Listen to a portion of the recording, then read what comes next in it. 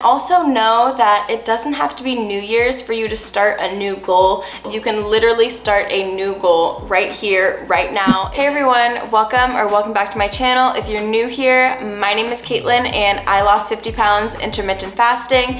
And in today's video, I just wanted to talk to you about why you're not reaching those weight loss New Year's resolution goals that you set for yourself. It's the middle of the month. I'm sure you're losing motivation because you're not seeing results. So let's let's talk about how we can change that around and reach our goals. So don't feel bad at all. A lot of people do this, but you probably bit off more than you can chew. You need to have more smaller bite-sized goals that you can actually reach. For example, if your New Year's resolution was to start drinking a gallon of water a day and you drank no water before, only juice and soda, that's just not attainable. You wanna start with smaller little bite-sized goals. So let's say the first week you start drinking just one bottle of water a day. That's it. And then once that becomes easy, once you've built that habit of drinking your water every single day, you can build that up to drinking a bigger bottle of water every single day and start building on that habit. But you wanna have a good foundation to start with, not just throwing in these random habits and then losing them because you didn't build a good foundation. Another example, if you wanna start cooking healthy meals at home, start looking on Pinterest for healthy meals that you actually would like to eat that you can see yourself making and stick with one of those. Start making it one to two times a week and perfect that and then move on to making something else. But you're not gonna start by going out, getting all these groceries. I'm gonna cook a different meal each and every day and it's gonna be Pinterest perfect. No, that's not how you build habits. You want to start small and work your way up because that's the only way that you're gonna be able to stick with what you're doing because you're building a whole different lifestyle for yourself. You're going from doing something that you don't normally do to implementing a new habit so you actually want it to stick so make sure that you're taking smaller little bite-sized goals so for those of you who don't know, I was in the Air Force and while I was in, we would have to set SMART goals. Specific, measurable, achievable, or attainable, um, realistic, and timely goals. Those are the best kind of goals that you can set for yourself. I don't know if you've ever set a goal like that, but that really sets you up for success. So let's go over it. You want your goals to be specific. So don't just start by saying, I wanna lose weight. Your mind doesn't even know how to comprehend where to even start with that goal. So how much weight do you wanna lose? When do you wanna lose the weight by?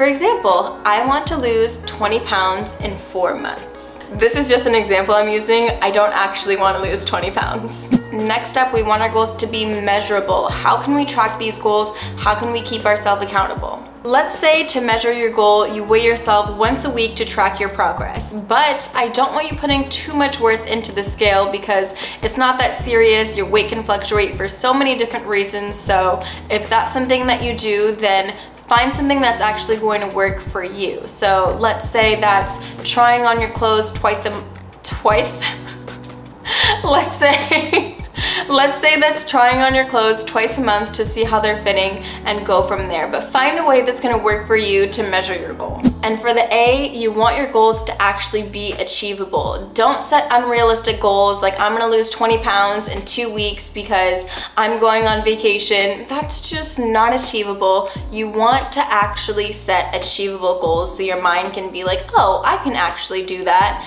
Instead of getting discouraged setting this big goal that you're just overwhelmed with and ultimately not going to reach. So can you do 20 pounds in four months? Absolutely you can. Next up, we want our goal to actually fit into the bigger picture of our life.